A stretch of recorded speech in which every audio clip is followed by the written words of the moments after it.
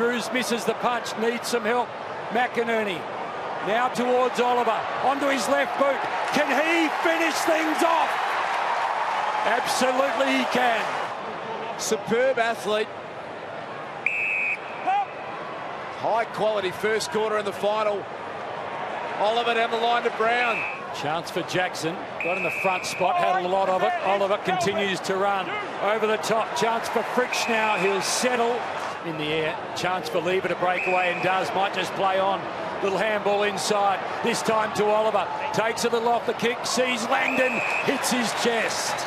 Trying to get free in the end. McDonald. Jackson again to Sparrow, to Oliver. A little fumble, but backs himself, gets away from Harris Andrews. Again, that dangerous ball, this time to Pickett. Went to the voice of Harmes. They just seem to be so well connected at the moment and everything they do, the Dees. Oliver's kicked down the line, Petracca. Charging at the ball, Petracca again went with Birchall Sparrow. Clever chance for Rivers inside for Oliver. He's done plenty all night. Now Fritsch looking for another. Fritsch kicks, goals. The one the Lions needed. And they find a seventh. Ah, oh, brilliant effort from Rivers. Smothered the ball from Robinson. Oliver in there. In the way was McInerney.